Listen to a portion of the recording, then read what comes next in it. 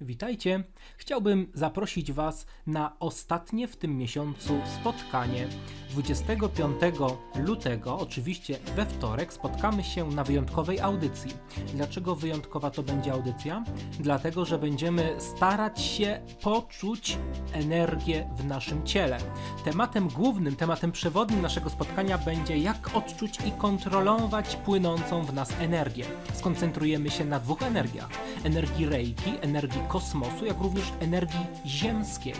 Pobudzimy tą energię i obiecuję Wam, każda osoba, która będzie słuchała moich rad oraz wskazówek, na pewno odczuje energię płynącą w swoim ciele. Tak więc widzimy się już 25 lutego, czyli w najbliższy wtorek o godzinie 18 na kanale Parapsyche TV. Pamiętaj, nie może Cię zabraknąć. Do zobaczenia.